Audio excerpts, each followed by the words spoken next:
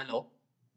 You must have seen the earlier two videos that explain to you the steps to create your TTMS account in Zoho Creator and to update your mobile number that is going to aid you in resetting the password anytime.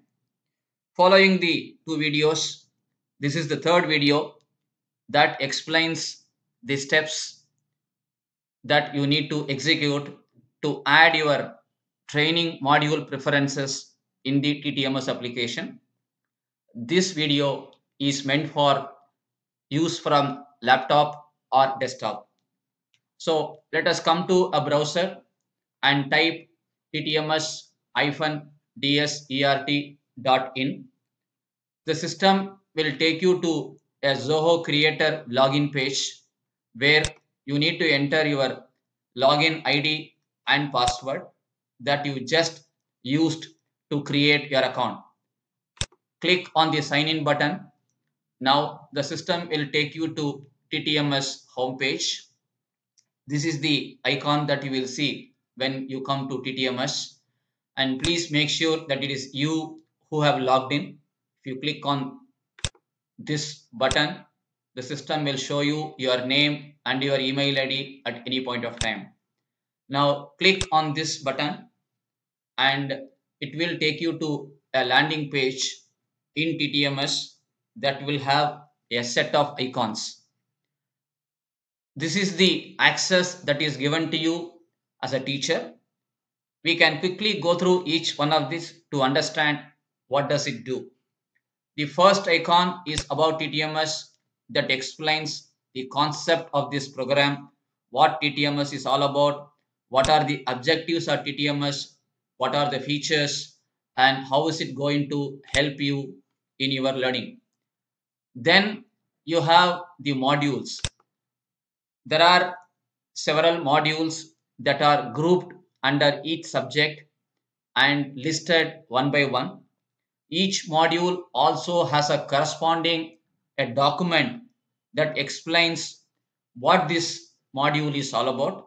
There is a PDF that is attached against each of the modules. You can download them to understand more about the module before you want to register. So this lists all the modules grouped by subjects. Then let's go to the most important part of this video where you are going to see how you can apply for the training through a particular functionality. This page will explain that. As you can see, as you have logged in with your user ID and password, the system will automatically bring it up for you. You don't need to enter that. And the request date will be the current date, the date on which you register yourself. And currently the modules are listed only in English. We will be adding them in Kannada as well later. As you can see in this page, there are four modules that you can select at any point of time. Means you can select a module and attach a priority to that. I'm going to do that now to explain how it can be done. You can scroll down here. You can search a particular string and find out what are the subjects that are available under a particular string. For example, I searched on science and I picked up a topic and now I am going to search on English. Okay, I'm going to search Hindi to figure out what is there. Yeah, I can pick up this and then let me search something on um, environment. Yeah, let me choose this under environment or I can also scroll down one by one like this and I can pick it up. Let me pick one in mathematics. So I have created four priorities here and I can review this whether these are the four things that I want to do and I can submit. When I submit, the system will create an entry for you under your name and the message also pops up confirming your selection. Now, you can view what you have selected through the module apply training module view through this icon.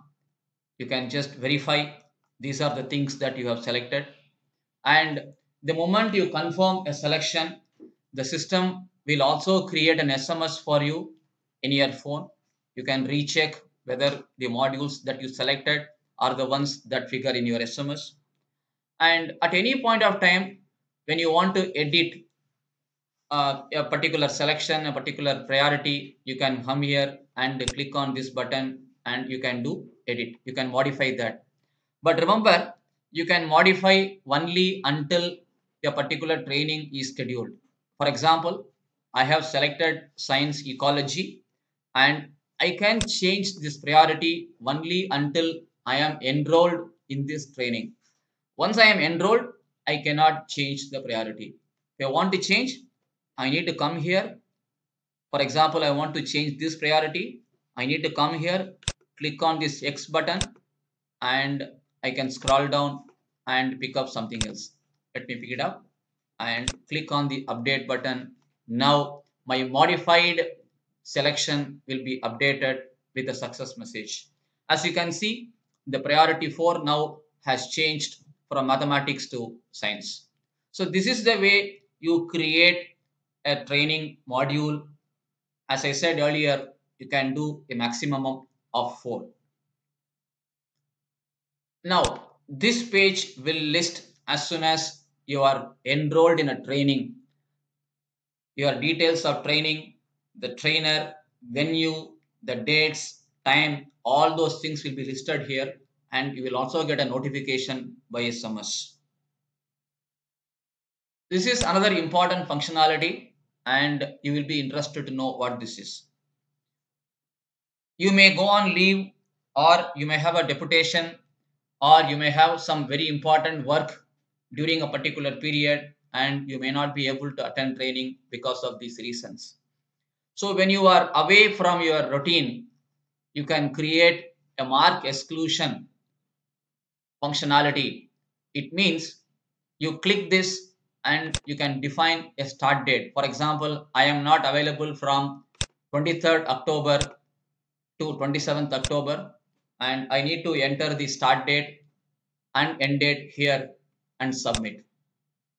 Now, the moment I do this, whenever a training is scheduled during this period, it means from 23rd October to 27th October, if there is a training scheduled and you have enrolled yourself for that particular module, you will not be included in the training because you have already created this exclusion date. You can have more than one exclusion dates range. For example, you are away for one week this month and you are going to be away for another week in November. You can create multiple exclusion dates here. If you cancel your exclusion, you can come back and delete. But by then, if the training is already scheduled and after that you come back and remove a particular exclusion period, you, you will not be included in that training.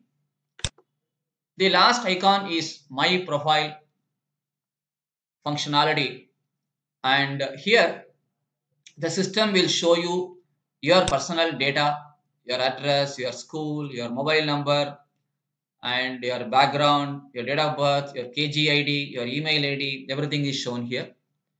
You will not be allowed to modify all the data here. All you can modify is only your mobile number and your address. When there is a change in mobile number, you want to update that here, you need to come and update here. I can change my mobile number and I can change my address here. But remember, the mobile number that you are updating here is only for receiving SMS from TTMS administrator when a training is scheduled or um, when a training is postponed or rescheduled anything related to TTMS functionality, you will get SMS by the number through the number that you have entered here. But if you want to change your password and there is a change in mobile number also, earlier remember we created the mobile number in the accounts.zoho.com URL. If you want to change your mobile number there, you need to go and separately change. A change that you have made here will not be updated there automatically. So when you want to reset your password and if you have changed your mobile number, you need to go there and update your mobile number. It is very important. Please remember this. So this is the way the TTMS application has been configured. And um, as you can see, you can understand what is TTMS and you can apply for training modules. You can create exclusion dates and you also have your contact us button where uh, your district wise, uh, block wise representatives, administrators will be there and you can reach out to them. And at any time you have a challenge, you have an issue either in connecting to the application or you are not able to log in for whatever reason, you can reach out to help at ttms-dsert.in. So I hope you understood the functionality of this uh, module and go ahead, start creating your preferences and wait for your enrollment. Thank you so much. Happy learning.